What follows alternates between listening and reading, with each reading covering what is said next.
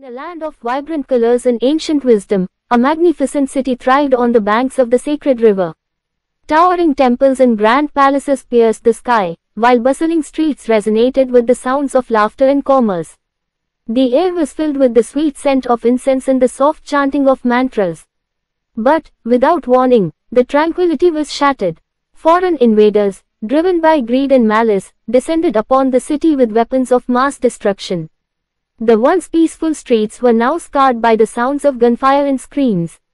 The people, fueled by their faith and determination, rallied against the oppressors.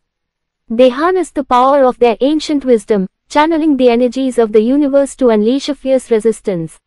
Sacred symbols glowed with an otherworldly light, as the defenders of the city wielded both guns and divine powers. The battle raged on, with the fate of the city hanging in the balance. But the invaders underestimated the resolve of the people, who fought with the strength of their ancestors and the blessings of the gods. The tide turned, and the colonizers were vanquished, their dark magic no match for the light of the people's unity. In the end, the city emerged victorious, its beauty and spirit unbroken. The people rejoiced, their hearts filled with pride and gratitude. The sacred river flowed once more, its waters reflecting the vibrant colors of a nation reborn. The nation prospered, its roots deepened in the rich soil of its heritage.